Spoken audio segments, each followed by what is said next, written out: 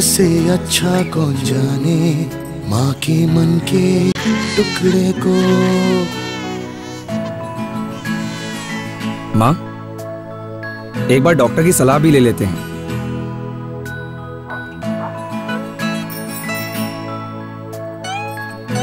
बच्चे को तुरंत अस्पताल लाके आपने सही किया।